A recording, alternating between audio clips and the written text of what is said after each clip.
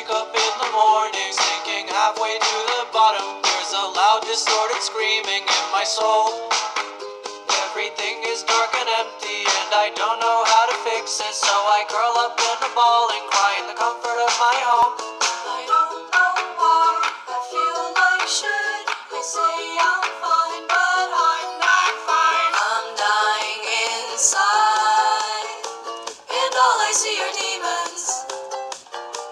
I try to hide all my deepest feelings. I'm dying inside, and all I see are demons. I try to hide all my deepest feelings.